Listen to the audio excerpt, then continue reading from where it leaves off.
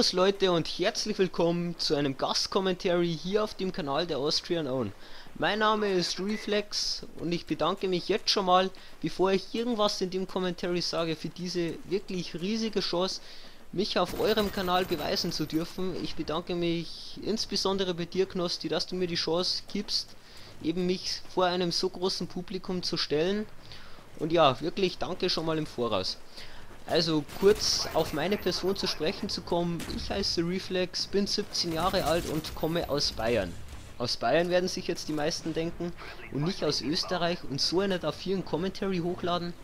Ja, ganz genau. Ich besitze nämlich sowohl die deutsche als auch die österreichische Staatsbürgerschaft da habe ich mir dann auch einfach gedacht, schreibst den Knosti mal an, fragst wie es aussieht und der hat natürlich sofort gesagt, ist kein Problem, versuch doch ein Commentary hinzubekommen und nimm's auf, schick's uns und ja, dann sehen wir mal ab, was daraus wird.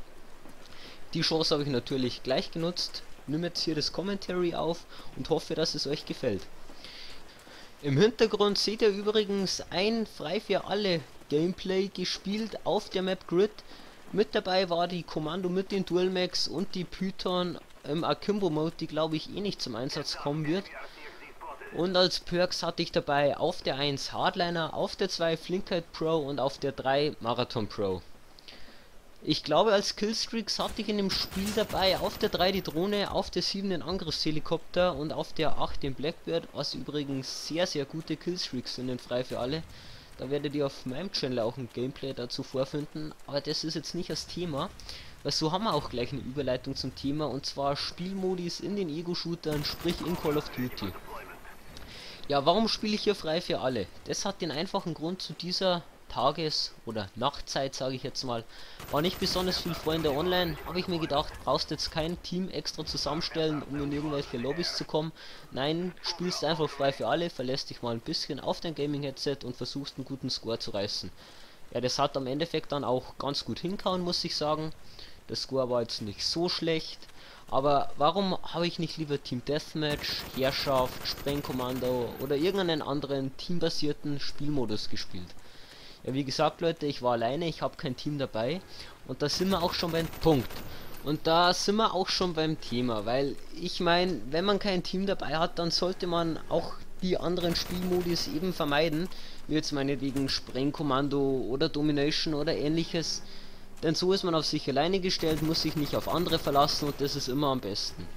Aber wo wir dann eben beim Thema Spielmodis sind, wie ihr vielleicht wisst, in den letzten, ja, sagen wir gut, anderthalb, zwei Monaten der Call of Duty Ära, sagen wir jetzt mal, kurz bevor das neue Call of Duty rauskommt, sprich jetzt in dem Fall MW3, das in drei Wochen erscheinen wird, werden die meisten Spielmodes doch wirklich sehr, sehr ausgenutzt.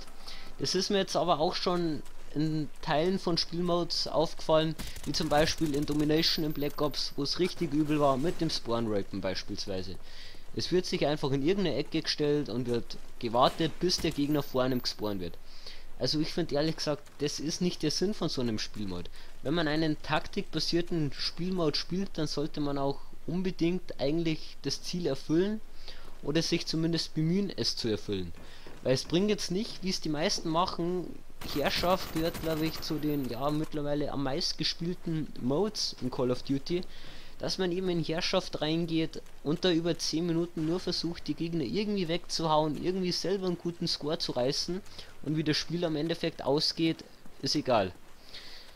Ja, bei mir, ich muss zugeben, zugeben, ist es teilweise natürlich auch so der Fall, dass wenn ich mal ja mit zwei, drei Leuten spiele, dass wir sagen, ja, wir gehen jetzt einfach mal in Herrschaftsspiel rein und versuchen eben da die Gegner ein bisschen wegzuhauen. Aber bei manchen Leuten wird es doch wirklich zur Gewohnheit. Und warum ist das so? Der Frage will ich jetzt ehrlich gesagt in dem Commentary ein bisschen auf den Grund gehen. Wie ihr vielleicht wisst, wenn ihr in Team Deathmatch reingeht, das Spiel geht bis 75 Kills, sprich 7500 Punkte. Und die hat man, wenn man ein relativ fittes Team dabei hat, doch sehr schnell erreicht. Ich muss sagen, wir haben im ersten Halbjahr von Black Ops sind wir immer zu sechst in der Lobby, haben so unsere Winstreak aufgebaut, eben zu sechst waren wir sechs vierte Leute, wie jetzt vorher angesprochen, und dann haben wir halt so ein Team Deathmatch auch öfters in unter vier Minuten entschieden. Vier Minuten, das ist jetzt ehrlich gesagt überhaupt keine Zeit, irgendwelche großartigen Killstreaks oder sonst irgendwas aufzubauen oder irgendwelche mega Scores rauszuhauen. Und das eigentlich im Team Deathmatch auch nicht gehen soll. Im Team Deathmatch geht es darum, eben taktikbasiert zu spielen. Da sollte man sich mit seinen Teammates etwas absprechen. Und da geht es halt auch nicht rein ums Bashen. Aber wenn ich mir jetzt eben Spielmodus wie meinetwegen Domination anschaue, wo wirklich über 10 Minuten weg nur gebasht wird und eben da eigentlich nur die Zeit ausgenutzt wird, dass das Domination länger geht, aber die Punkte, die Punkte einzunehmen und zu verteidigen, komplett missachtet wird, da verstehe ich es ehrlich gesagt nicht, da sind auch die meisten Spielmodis wirklich falsch verstanden. Jetzt eben auch wie das Beispiel Sprengkommando. Ihr kennt bestimmt das eine Video auf YouTube, wo einer bei Sprengkommando auf der Map Havana über 500 Kills macht, indem er eigentlich nur in der Ecke sitzt und in die Luft messert. Die Gegner werden ein nach dem anderen vor ihm gespawnt und er kriegt die Kills. Gut, jetzt in so einer Lobby würde ich halt dann auch irgendwann mal Rage quitten, glaube ich, und nicht damit, keine Ahnung, 150 Toten rausgehen. Das wäre mir doch dann auch irgendwann zu blöd, würde ich sagen. Aber das ist finde ich ein Paradebeispiel dafür, dass solche Spielmodus wirklich ausgenutzt werden.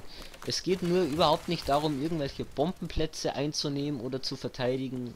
Ja gut, außer es sind wieder die ganz schlauen am Werk, die dann wieder versuchen, irgendwelche Bombenplätze absichtlich in die Luft gehen zu lassen, dass das Spiel dann noch länger dauert, dass man es hier noch weiter ausnutzen kann. Ich glaube, so ein Sprengkommando kann maximal 22,5 Minuten gehen. Und wenn man sich wirklich 22 Minuten in der Ecke hockt und immer in die Luft messert, da kommen doch wirklich Summen an Kills zusammen, wie ihr in dem Video bestimmt auch gesehen habt. Ja, und das finde ich ist eben nicht der Sinn der Spielmodus. Man sollte auch Objective spielen, sage ich jetzt mal. Die Flaggen einnehmen, so das eigene Team unterstützen. Und ganz ehrlich, es bringt auch euch was, weil wie ihr es vielleicht beobachtet habt, wenn ihr zum Beispiel ein Spiel gewinnt, bekommt ihr locker doppelt bis dreimal so viel XP pro Spiel wie normal, wenn er verliert. Also ich glaube, dass sich das wirklich lohnt und dass man da auch wirklich ein bisschen mehr Objective spielen sollte und nicht immer nur auf das Gebäschen rausgehen soll. Natürlich kann man jetzt mal eine oder zwei Runden, kann man schon mal drauf gehen. Ja gut, vor allem wenn man alleine ist. Da ist für mich wirklich der Spielmodus frei für alle perfekt. Ich kann mich auf mein Gaming-Headset verlassen. So habe ich Spaß, die Gegner jetzt vielleicht eher weniger, aber das ist ja nicht das Problem. Aber wenn man eben nicht Objective spielt, immer nur irgendwelchen Punkten nachkämpft, sage ich jetzt mal, und die Gegner versucht wegzubashen, es ist jetzt auch nicht der Sinn vom Spielmod und das haben sich die Entwickler, glaube ich, auch sicherlich nicht so gedacht. Ja Leute, das Gameplay neigt sich jetzt auch schön langsam dem Ende zu. Ich möchte mich hier an dieser Stelle nochmal wirklich recht herzlich bei Knosti und dem ganzen Austrian Own Team bedanken, dass ich hier die Chance bekommen habe, ein Gameplay für euch hochzuladen. Ich hoffe natürlich, dass euch das Gameplay gefallen hat, dass euch das Commentary gefallen hat. Den Score vom Gameplay, den werde ich dann am Schluss verraten. Es war jetzt nicht unbedingt der beste Score für ein Frei für alle, aber ich finde, es war nicht schlecht anzuschauen, das Spiel, weil eben die Cobra dabei war, so habt ihr kein Killstreak gebäsche, sprich Chopper Gunner. Und das war nicht schlecht, würde ich sagen.